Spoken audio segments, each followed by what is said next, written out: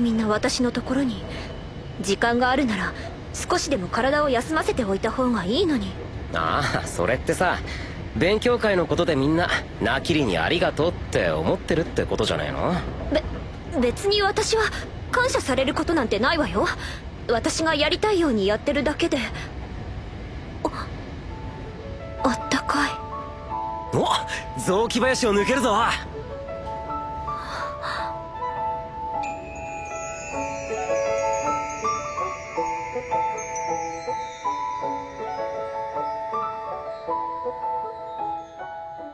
なんかイクラ食べたくなってきたな。は？何よ急に。ほらなんか似てるじゃん。星空とイクラ。どっちもキラキラしてるし。似ても似つかないわよ。まったく。君には風流をめでる気持ちというものがないのかしら。いやいい星空だとも思ってるっての鮭の皮かじってるから連想しちまったのかね。もう何を言ってるのよ。あら今まで雪平君の顔がちらつくだけで気分を害していたけど今は。今はそんなに嫌ではないわね。